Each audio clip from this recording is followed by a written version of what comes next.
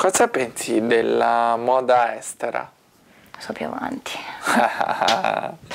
no, allora, sono una fervida sostenitrice del Made in Italy perché come noi a livello proprio di artigianato non c'è niente. Purtroppo a parte quei pochi stilisti che sono rimasti che tra l'altro lavorano più come prima perché Valentino lavora più sono tutti grandi e non esiste più ehm, lo stilista che disegna e che mette il suo nome, ma magari qualcun altro che disegna per lui e tu neanche sai chi è che l'ha disegnato quell'abito. Infatti indossi quel capo e pensi che sia di Pinco Pallino, invece no, magari... Lui neanche l'ha visto magari.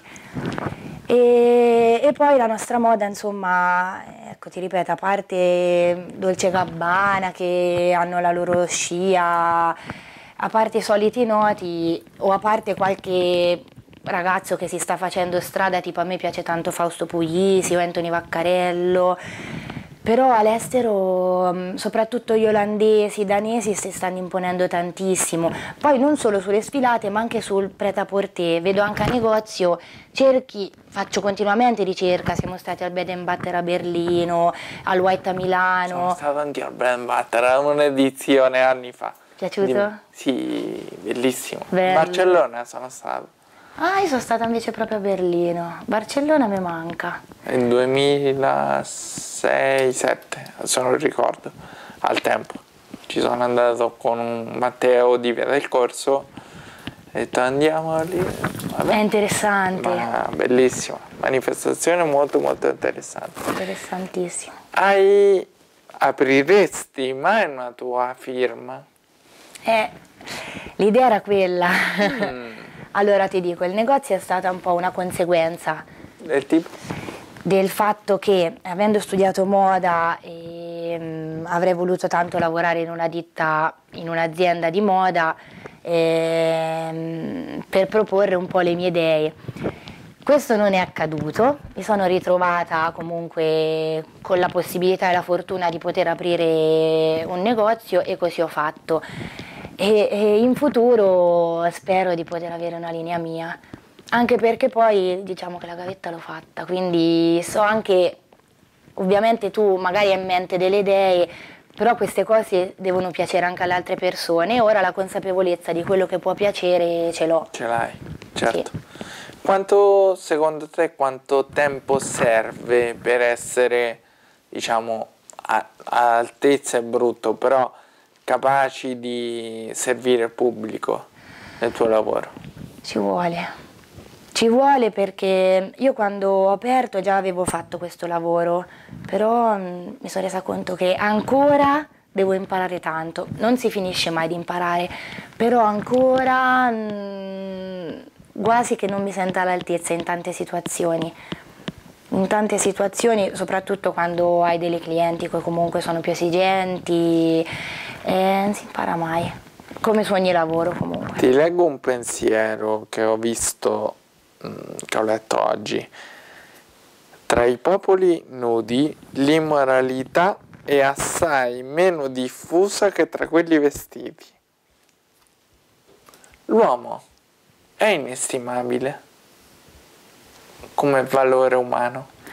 Certo, che inestimabile. Però la frase di prima è verissima. Sì. Spesso in giro non c'è moralità in come si vestono le persone, ma ti ripeto, tornando al discorso di prima, eh, il vestito è lo specchio di te. È inutile che diciamo l'abito non fa il monaco, un po' lo fa, perché mh, mm, quello che vuoi è magari non riesci ad essere una cosa e attraverso il tuo abito, attraverso il tuo outfit provi a essere quella cosa, no? E... È bene però che ci sia anche un, una tara o limite sul vestiario, cioè tante volte si vedono persone che hanno un'età e si vestono da un'età totalmente diversa, che intendo un quarantenne, cinquantenne, uomo-donna che si veste da bambino. Mi segui? Ti seguo. Su questo però non sono d'accordissimo. Dai, tipo? Mm. Perché io vorrei continuare a vestirmi un po' come mi pare. La nonna con le converse. Sì, come 5 grande. Eh, ehm, I sentimenti, parlando di morale, i sentimenti nel lavoro ripagano? Sì, sempre. Qualsiasi cosa fai col cuore verrà ripagata, prima o poi.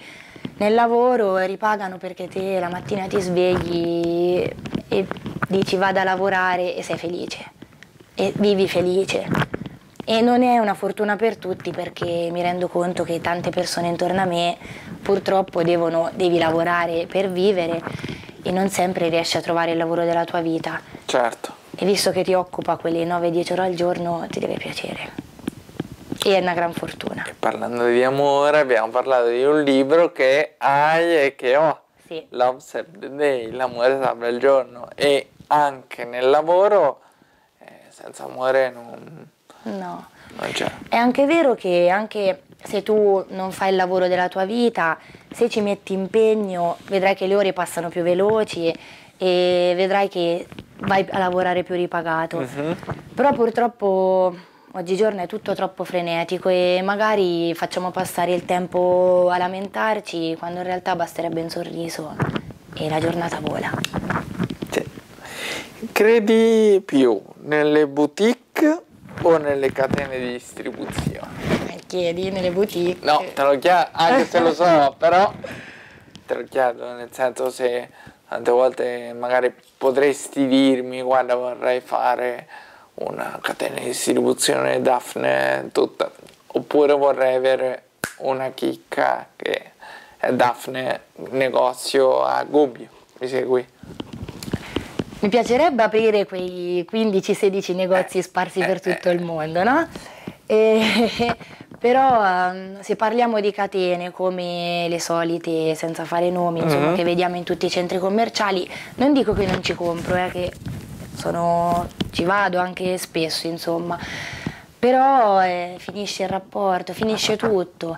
Te ti trovi lì dentro a dover comprare da solo. Sono due tipologie di shopping diverso. Vedo che anche da me in una boutique magari tu vai se hai un'occasione, ti compri una cosina, magari coi soldi della nonna oppure coi soldi che ti sei sudato la sera prima lavorando in un Certo. bar. Nelle catene ti vesti perché ti devi coprire. Quanto conta per una commessa che lavora, chiedo scusa, il sorriso di chi serve? Tutto. No, è importantissimo. Ma ovunque vai, in un bar, in un ristorante, il sorriso è tutto. Ma è, come ti dicevo prima, il modo di affrontare le cose Certo. ehm, rende tutto diverso. Poi vabbè, in un luogo pubblico credo che al di là dell'amore o non amore per quello che fai, è quasi d'obbligo il sorriso. Eh, ti piace l'idea di un paragone interpreta il pensiero ad un centro estetico del vestiario Sì, nel tuo lavoro? sì. In qualche modo lo è. Lo è perché mm, è un modo per sentirti più bella fare shopping, poi per una donna proprio è... È un, un ottimo antistress lo Sì, shopping. Sì, sì, sì, sì, per le ragazze sì.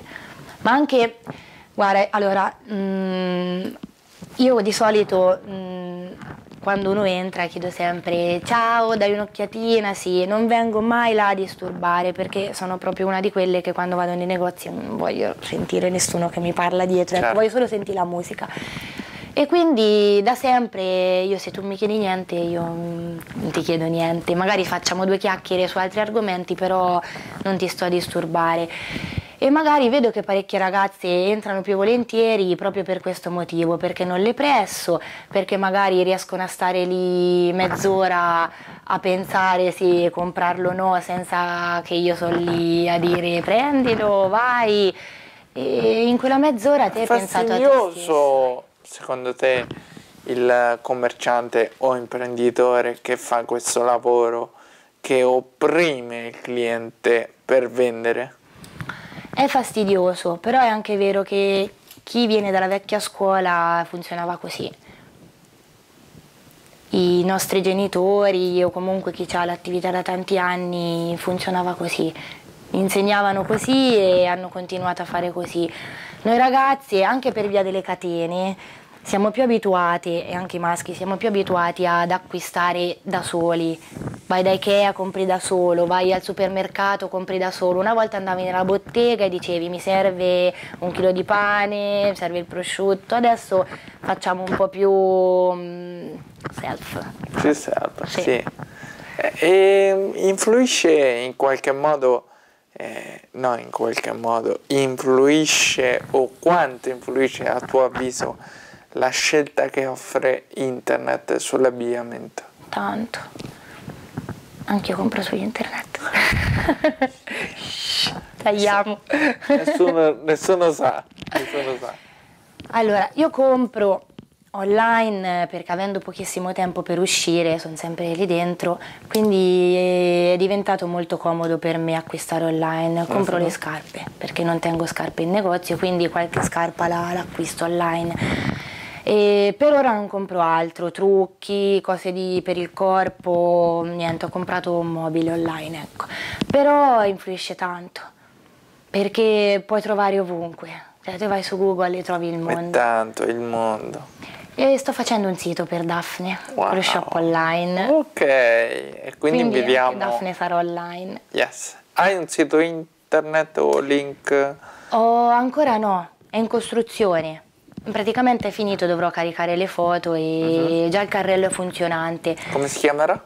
Daphne Clothing Lab, www.daphneclothinglab.it Cosa, Qual è il significato preciso di, di questo termine? Cioè, Daphne sì me l'hai spiegato, ma Clothing Lab è clothing al vestiario? Sì. Laboratorio, lab? Sì. Inizialmente quando ho aperto facevo anche dei lavoretti io. Ah sì? Sì, tipo modificavo, mh, mm, ho venduto anche qualche pezzo mio. Andando avanti il tempo si è ridotto e mm, se devo fare delle cose, ad esempio modifico le All Star, quello sì, però l'idea di laboratorio di moda è rimasta. Anche se andando avanti però è sempre più Daphne. Credi nella, comunque nella personalizzazione dell'abito? Adesso sì, da sempre, però adesso eh, trovi talmente tante copie in giro che avere una cosa tutta tua è bellissimo. È bellissimo. Sei disposto a pagare di più per una cosa tutta tua. Certo. Allora, cara, siamo giunti alla fine di questa puntata perché abbiamo registrato quasi mezz'ora. È volata.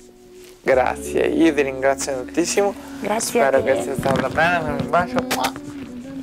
Verrò Grazie mille. da te, perché te l'ho promesso, giusto? Sì.